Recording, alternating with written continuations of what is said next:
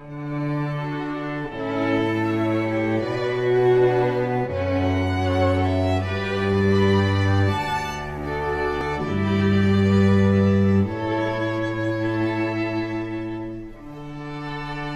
Hawaii. Civil engagement lives here.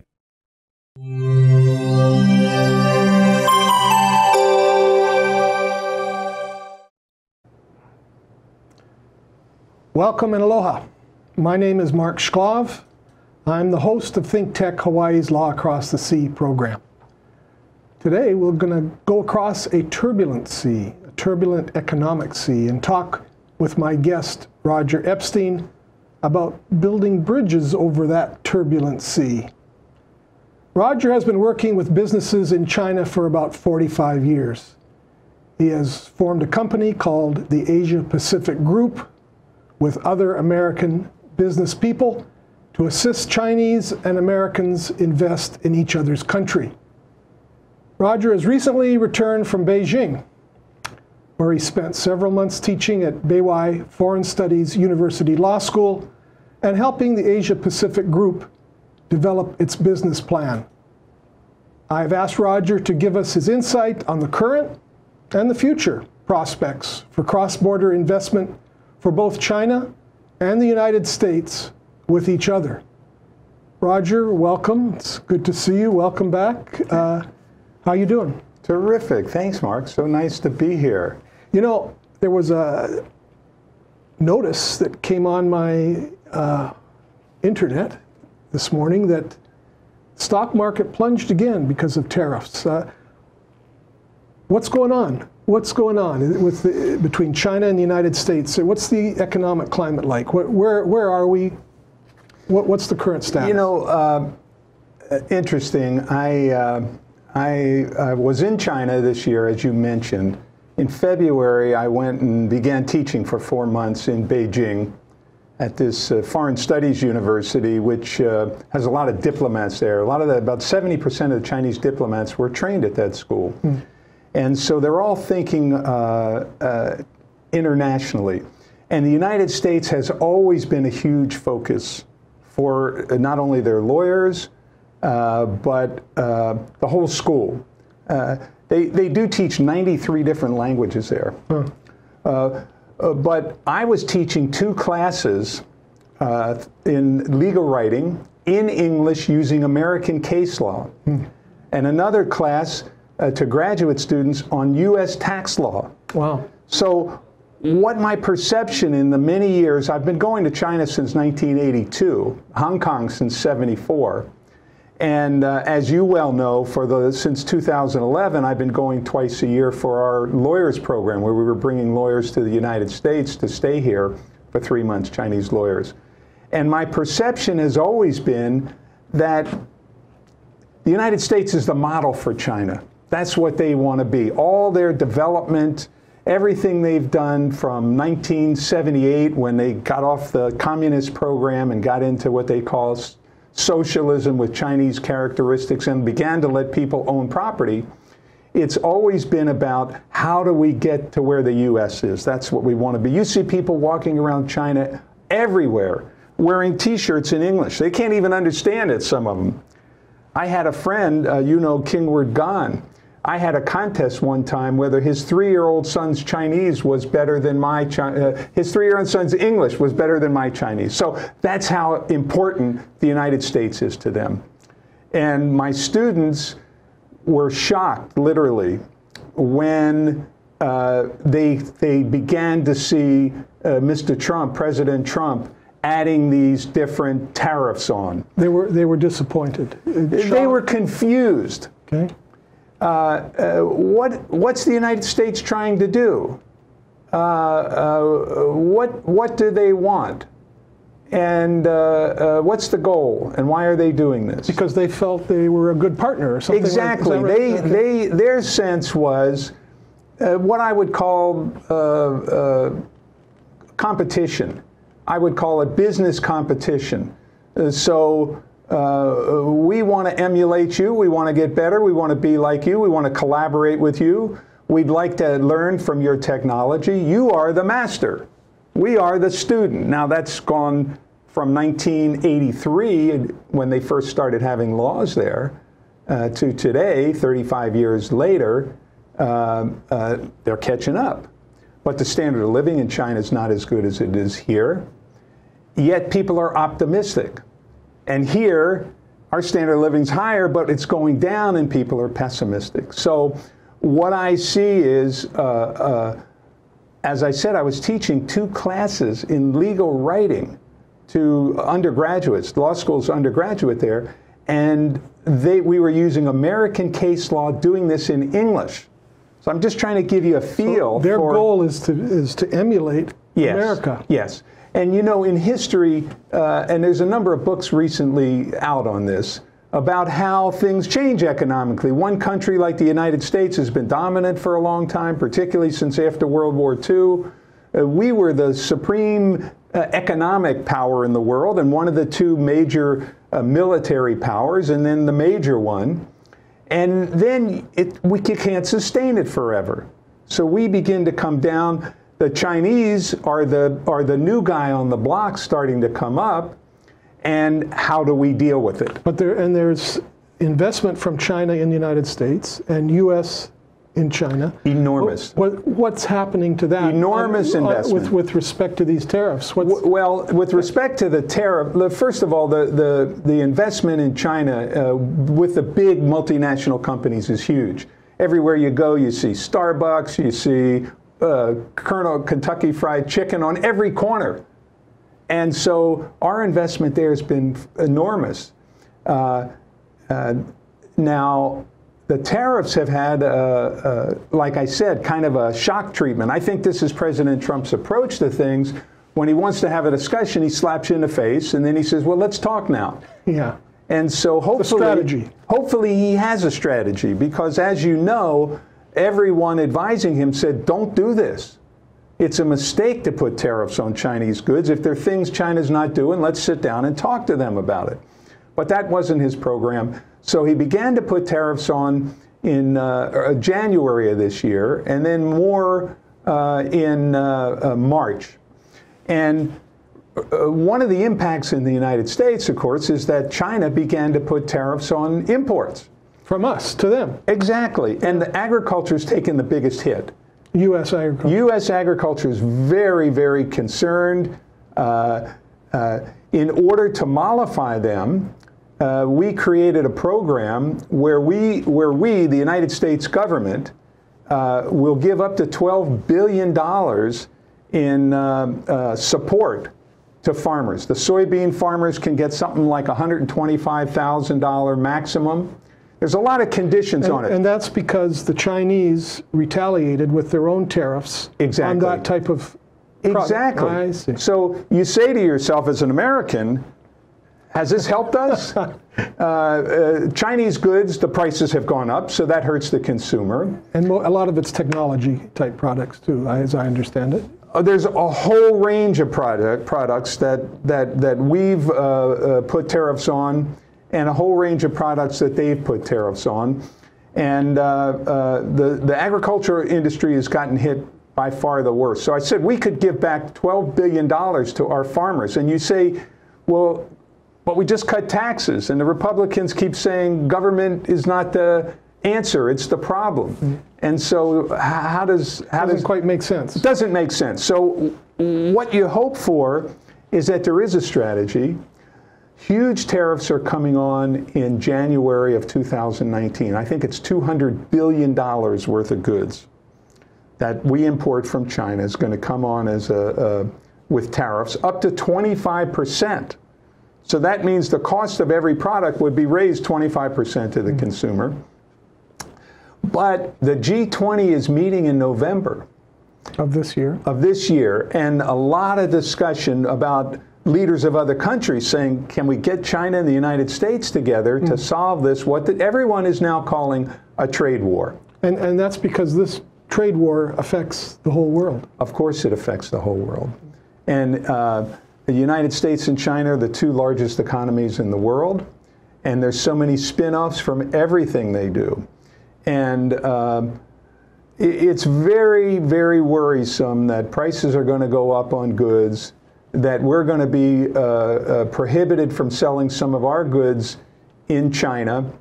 Uh, China has already uh, adapted Chinese importers. They've adapted, first of all, uh, imports before the, the, the tariffs were announced in four brackets so far. I think January, March, July, and September. And just before the tariffs went on, there was a huge surge of it, Buying. uh, buying. And then all of a sudden it dropped off a cliff. And so uh, you can s- people know what's going on. What's the other thing you do if, if you're a Chinese seller?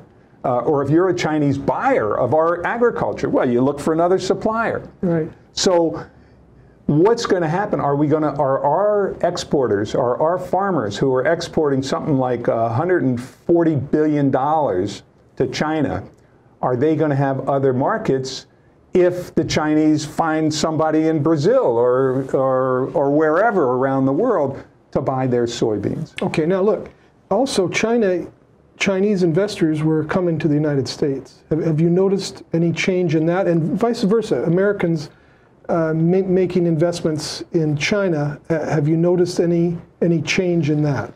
You know, the biggest impediment to Chinese investment in the United States has been uh, the unwillingness of the Chinese to, to let people get their money out of China. It's very difficult. And uh, if you have a legitimate business, uh, you can go jump through a lot of hoops and get money out. But that's been going on all year this year and some of last year, and continuously off and on. But they've gotten much tougher this year. So that's been the biggest cause. Whether the, the investments here, not the imports, we know they're going down uh, because uh, the products aren't as competitive. People aren't going to buy as much. And so they're going to look for other markets for their goods. Um, uh, I, I, I haven't seen anything that indicates that the investment in the United States is going down. The Chinese still want to invest in the United States. I think the Chinese still want to invest in the United States. Okay. Uh, I think it's been difficult for them. Uh, uh, uh, we've we've changed the playing field. Uh, do you know what CFIUS is? What's that? I- It's a government organization that looks at whether or not foreigners can buy companies in the Oh, United okay. States. Uh, Larry Foster is an expert in this. Uh, whether they can buy for security purposes. Mm-hmm. And so there's been a, a, number of potential acquisitions. So some of what the Chinese want to do, uh, um, my basic experience is what, what they want two things from the United States. They want technology and they want money, U.S. investment. And there's a tremendous encouragement in China for U.S. investment. Um, Coming into China. coming into States. China, Okay. U.S. dollars coming in, and other countries. But the United States, of course, is the biggest market in the world, and we have huge financial institutions and investors. So they want U.S. dollars and they want U.S. technology. They want to grow. And so th- this, this trade war Yeah. that we have going on has not affected the psyche of the Chinese man on the street, if you will. The, the person want, you know, the businessman wanting to make investments still wants money coming from the United States. United States still wants to seek out investments in the United States, but the climate, Yeah. the Yeah. sea over which they're traveling, Yeah. is a little bit turbulent. That's what I hear you saying. Yeah, and I and I think uh, in in the inbound direction for the United States, uh, uh, what I said earlier uh, with respect to my students in particular, not so much in the, my particular business, because those are close personal relationships, but in my students who were wondering what is going on here. I think there's some of that uh, with many other people in China. So there may be some hesitancy to invest here. Okay, so there is reluctance, and maybe after the break, we'll talk about ways to get over that ocean of turbulence. Okay? All right, so we'll take a break and be right back. Happy. All right. Hey, Stan the Energy Man here on Think Tech Hawaii. And they won't let me do political commentary, so I'm stuck doing energy stuff. But I really like energy stuff, so I'm going to keep on doing it. So join me every Friday on Stan the Energy Man at lunchtime, at noon, on my lunch hour. We're going to talk about everything energy, especially if it begins with the word hydrogen. We're going to definitely be talking about it. We'll talk about how we can make Hawaii cleaner, how we can make the world a better place, just basically save the planet. Even Miss America can't even talk about stuff like that anymore. We got it nailed down here. So we'll see you on Friday at noon with Stan the Energy Man. Aloha. I'm Jay Fidel, Think Tech. Think Tech loves energy. I'm the host of Mina, Marco, and Me, which is Mina Morita, former chair of the PUC, former legislator, and uh, Energy Dynamics, a consulting organization in energy. Marco Mangelsdorf is the CEO of Provision Solar in Hilo. Every two weeks, we talk about energy, everything about energy. Come around and watch us. We're on at noon on Mondays, every two weeks on Think Tech. Aloha.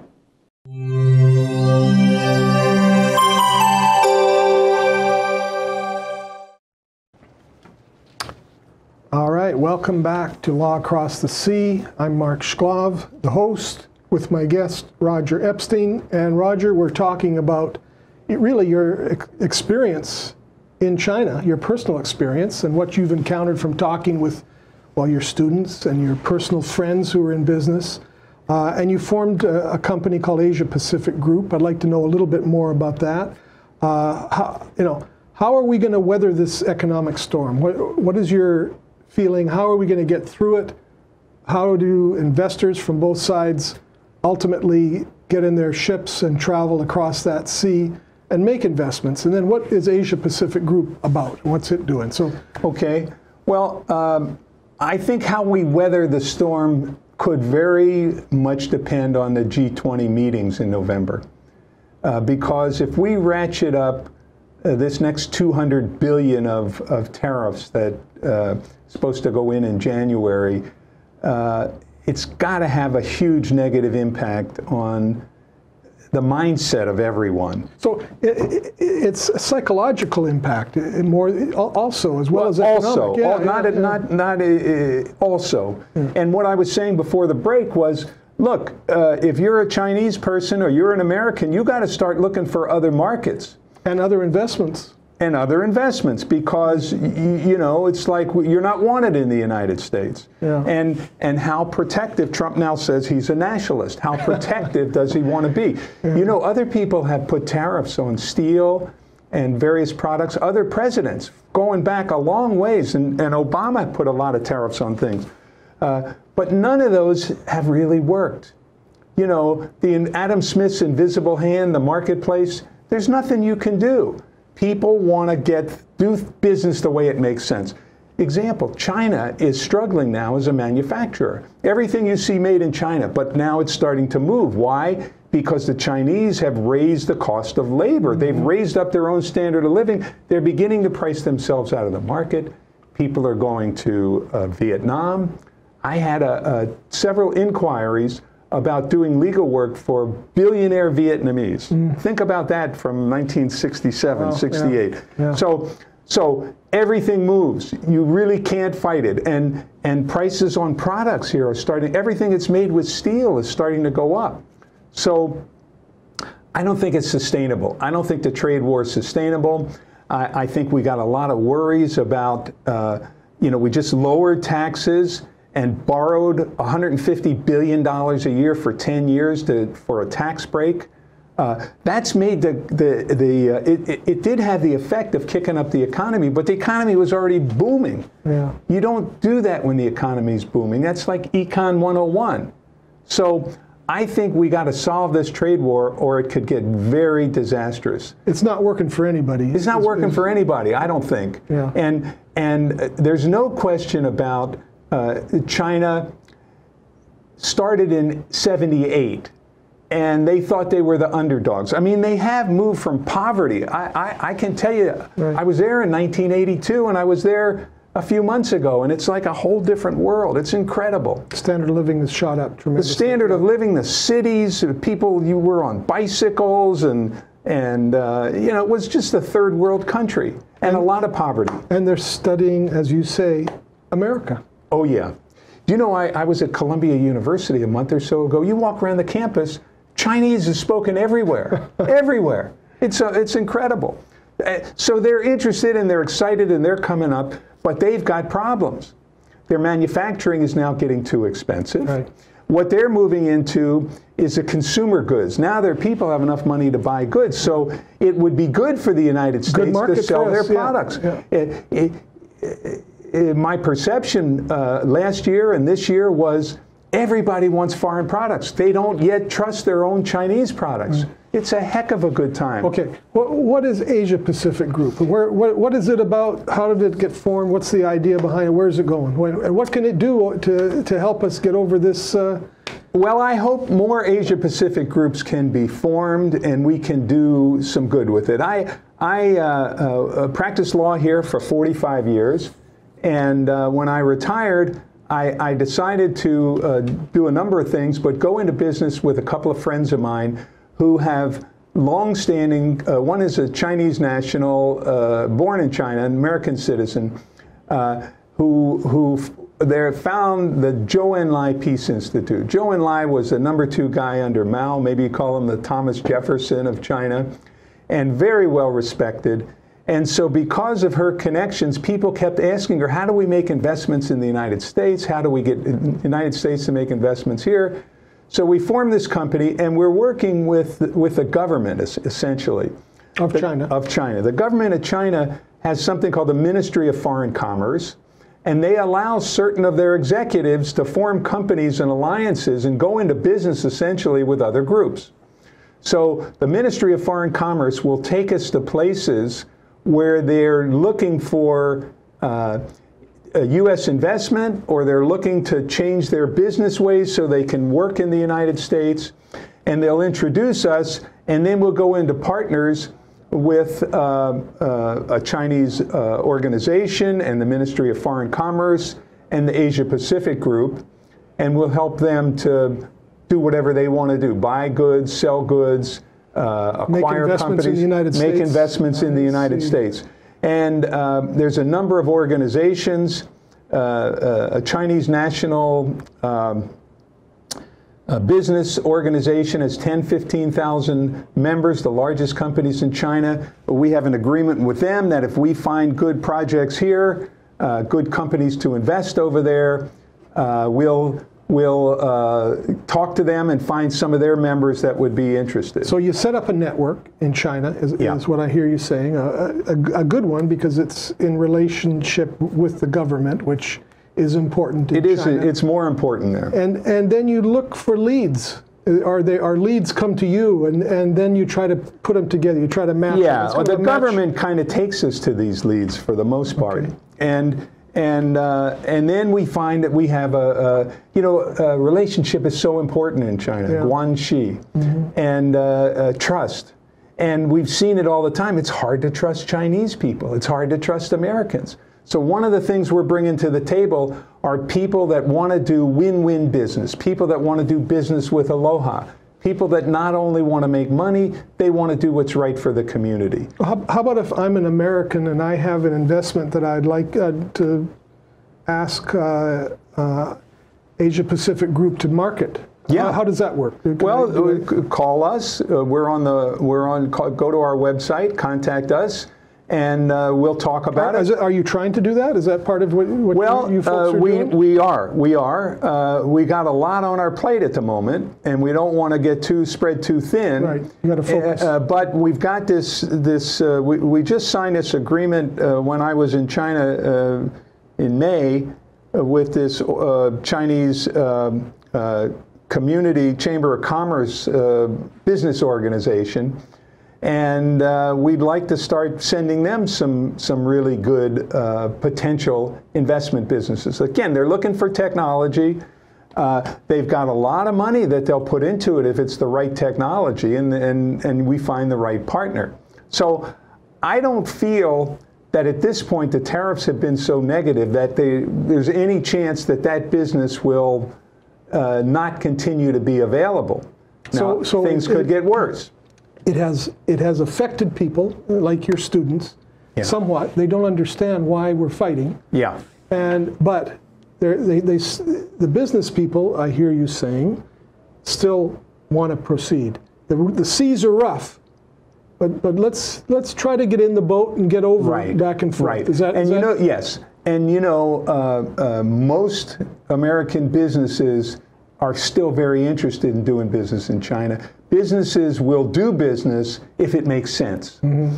uh, uh, as i said okay so here's an example uh, we've got a company in a town called lai wu the whole community uh, Lai Wu is the largest ginger and garlic manufacturer in the world, or in China. I think it's in the world too, but anyway, in China. And so uh, uh, we connected them with the people that have Canada Dry uh, ginger ale. And uh, it's, now, sense. it's now Coca Cola. and so we're trying to, and in Lai Wu, if you set up a plant there, they give you free land, they give you a tax holiday for 10 years, a lot of incentives from the Chinese government. Now, is that going to change if we get into a more serious trade war? I don't know. But I, I think business, unlike government, is always looking for ways to uh, expand, and uh, China still has a lot of growth to go. So business might be more of a global, globalist Yeah, society Yeah. as opposed to a nationalist. it's interesting, isn't it? Yeah. It's interesting Yeah. because business is so influential on our politics today. But on the other hand, um, do they want to fight or do they want to make money? And I think it's pretty clear that they'd like to expand in sensible ways, make money, and uh, uh, continue these relations. Uh, China is the engine for Asia. Uh, have you ever heard of the One Belt, One Road? Oh, of course. Yeah. So One Belt, One Road is reaching out to many places uh, all over the world, Chi- China is making a lot of relationships. making a lot of relationships. And we could maybe benefit. And so you say to yourself, if you look back in history, when the small guy comes up and challenges the big guy, what happens? What does the big guy do? You know what the answer is? They go to war. That's that's what these books say. Historically, when these now, are we still back in those ages? And maybe maybe war is no longer military war. Maybe it's economic and, and- economic war. okay now in in the minute we have left We have a minute left. what advice would you give an investor from china an investor from the united states at this time what what, what would you tell them I would tell them this. Uh, uh, people are the same everywhere around the world. The U.S. has a lot of potential. China has a lot of potential. Find people you can trust. Find people that make sense for you to get into business with. Uh, we're going to see more Chinese products coming to the United States, whether there's tariffs or not. We're going to see them. And if you're a, a U.S. person, look for a good person in China to do business with. Same thing in the United States. There's still lots of opportunities. No matter what happens, the pendulum will swing back.